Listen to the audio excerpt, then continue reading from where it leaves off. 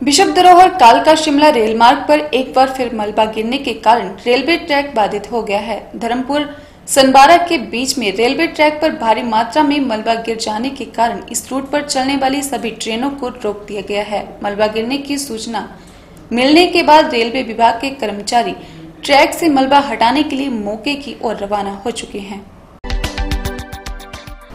Bishop धरोहर कालका Shimla rail मार्ग पर एक बार फिर मलबा गिरने के कारण रेलवे ट्रैक बाधित हो गया है। धर्मपुर सनवारा के बीच में रेलवे ट्रैक पर भारी मात्रा में मलबा गिर जाने के कारण इस रूट पर चलने वाली सभी ट्रेनों को रोक दिया गया है। मलबा गिरने की सूचना मिलने के बाद रेलवे विभाग के कर्मचारी ट्रक से मलबा हटाने के लिए मौके की ओर रवाना हो चुके हैं। आपको बता दें कि इस वारदात में लगातार कालका शिमला रेल मार्ग मलबा गिरने के कारण बाधित हो रहा है, जिसके कारण यात्रियों को परेशानी का सामना करना पड़ रहा है। कुछ दिनों पहले ही परमाणु के नज़दीक भारी मात्रा में मलबा आने के कारण कई ट्रेनों को रद्द किया गया था।